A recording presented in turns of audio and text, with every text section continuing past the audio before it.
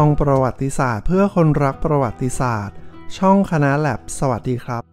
ตอนความรักแท้หนึ่งเดียว ในพระบาทสมเด็จพระบรมชนากาธิเบศรมหาภูมิพลอดุลยเดชมหาราช บรมนาถบพิตรท่านผู้หญิงบุษบา ซึ่งเป็นพระคณิฐาใน สมเด็จพระนางเจ้าสิริกิติ์พระบรมราชินีนาถพระบรมราชชนนีพันปีหลวง ได้เป็นผู้เล่าเอาไว้ในนิตยสารพลอยแกมเพชร เมื่อราว 16 ปีที่แล้ว ถึงเหตุการณ์หลังจากที่พระบาทสมเด็จพระเจ้าอยู่หัวภูมิพลอดุลยเดชรัชกาลที่ 9 และประสบอุบัติเหตุ รถยนต์ระที่นั่งชนเข้ากับรถยนต์บรรทุกคันหนึ่ง ที่เมืองโลซาน ประเทศสวิตเซอร์แลนด์ และหลังจากที่พระบาทสมเด็จพระเจ้าอยู่หัวภูมิพลอดุลยเดชรัชกาลที่ 9 ฟื้นพระองค์แล้ว จึงมีรับสั่งให้พลเอกพระวรวงศ์เธอพระองค์เจ้านักขัดมงคล กรมหมื่นจันทบุรีสุรนาถ ผู้เป็นเอกอัครราชทูตอยู่ที่อังกฤษในเวลานั้น พร้อมด้วยหม่อมหลวงบัวภริยา และธิดาทั้งสองคือ หม่อมราชวงศ์สิริกิติ์และหม่อมราชวงศ์บุษบาเดินทางไปเข้าเฝ้าพระองค์ ซึ่งท่านผู้หญิงบุษบาได้เล่าเอาไว้ โดยมีใจความตอนหนึ่งว่า พอไปถึงให้จับพระหัตถ์ท่านหมายถึง พระบาทสมเด็จพระเจ้าอยู่หัวภูมิพลอดุลยเดชรัชกาลที่ 9 ก็จับพระหัตถ์ทุกคน ทีนี้พอถึงสมเด็จ ซึ่งหมายถึงสมเด็จพระนางเจ้าสิริกิติ์พระบรมราชินีนาถพระบรมราชชนนีพันปีหลวง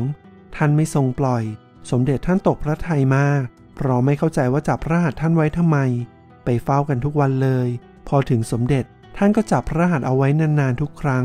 ทรงให้สมเด็จอ่านนิยายหนังสืออาหราบราตรี เป็นภาษาไทยถวาย ก็ไม่รู้เรื่อง ไม่ได้คิดอะไร รู้สึกอยู่ที่นั่น ที่เมืองโลซานประเทศสวิตเซอร์แลนด์ ประมาณสองอาทิตย์ พอถึงเวลาก็ต้องกลับใช่ไหมคะ เพราะสมเด็จกับหญิงก็ต้องกลับมาเรียนหนังสือ และเมื่อถึงเวลาจะต้องกลับ สมเด็จพระศรีนครินทราบรมราชชนนี หรือสมเด็จย่า มาที่โรงแรมที่เราอยู่ส่งมาพบคุณแม่ ตอนแรกคุณแม่ก็ไม่รู้อะไร ตอนหลังถึงได้ทราบว่า ท่านทรงขอให้สิริ ซึ่งหมายถึงสมเด็จพระนางเจ้าสิริกิติ์พระบรมราชินีนาถพระบรมราชชนนีพันปีหลวง ศึกษาอยู่ที่สวิตท่านจะส่งเป็นผู้ออกค่าเล่าเรียนให้ทั้งหมด แต่ขอให้อยู่ ท่านรับสั่งว่า พระเจ้าอยู่หัวรัชกาลที่ 9 ท่านโปรด ท่านทรงพอพระทัยอยากให้อยู่ คุณแม่ท่านรู้สึกไม่สบายใจ ตัดสินใจไม่ได้ ต้องโทรศัพท์ไปหาท่านพ่อ ครั้งนั้นท่านพ่อติดประชุมอยู่ที่ปารีสท่านพ่อว่ามีรับสั่งอย่างนั้น ก็ต้องถวายให้อยู่ ทั้งทั้งสมเด็จร้องไห้ พร้อมบอกจะอยู่กับพ่อแม่ และเมื่อมาถึงตอนนี้ ท่านผู้หญิงบุษบาเล่าติดตลกว่า หญิงสิอยากอยู่ แต่ไม่มีใครให้อยู่ คุณแม่เอ็ดใหญ่ จากนั้นหญิงต้องกลับไปอังกฤษตามลำพังกับหม่อมหลวงบัว แต่สมเด็จก็ส่งข่าวและดอกไม้ไปให้อยู่เสมอ อีกทั้งยังบ่นอยากกลับไปอยู่พร้อมครอบครัว สมเด็จพระเจ้าพี่นางเธอ ได้เป็นผู้เลือกโรงเรียนประจำซึ่งอยู่ห่างจากวิลล่าวัฒนา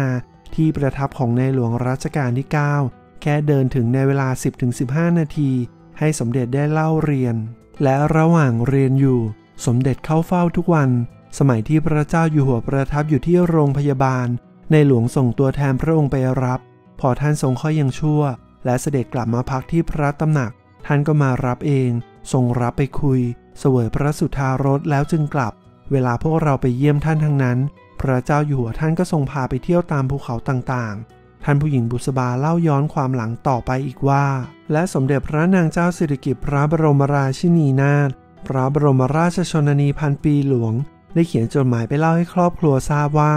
มีคนนึกว่าท่านไปจับในหลวง บางคนใช้คำว่าตกเบ็ดตกปลาเลยทีเดียว เวลาผ่านไประยะหนึ่ง สมเด็จกลับไปอยู่กับครอบครัวที่อังกฤษ ผู้คนแกล้งเหน็บว่า เสียแรงไปเรียนที่สวิตเสียนาน ตอนนี้กลับมาไม่ถูกกับอากาศสวิตหรือยังไง พวกนั้นเข้าใจผิดไปว่า สมเด็จโดนทิ้ง แต่แล้วทุกคนตกตะลึง เมื่อในหลวงรัชกาลที่ 9 ตามไปที่อังกฤษ แล้วจึงประกาศมั่น ในวันที่ 12 สิงหาคม ปีพุทธศักราช 2492 และในวันศุกร์ที่ 28 เมษายน ปีพุทธศักราช 2493 จึงมีงานพระราชพิธีราชาพิเศษสมรสที่วังสาประทุม พระนคร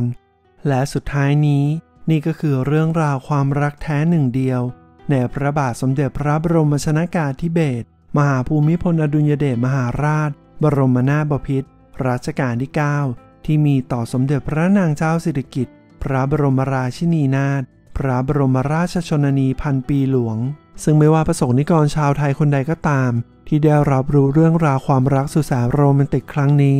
ต่างก็พลอยปลื้มปิติไปด้วยทั้งสิ้น แม้เรื่องราวเหล่านี้จะผ่านการเวลาเลยล่วงมานานจนบัดนี้แล้วก็ตาม ด้วยกล่าวด้วยกระหม่อมขอเดชะ ข้าฝ่าละอองธุลีพระบาท ถ้าคุณชอบเรื่องราวต่างๆ ทางประวัติศาสตร์ อย่าลืมกดไลค์ แชร์ Subscribe เป็นกำลังใจช่องคณะแลบกดกระดิ่งเตือนไว้จะได้ไม่พลาดในคลิปต่อไป ขอบคุณครับ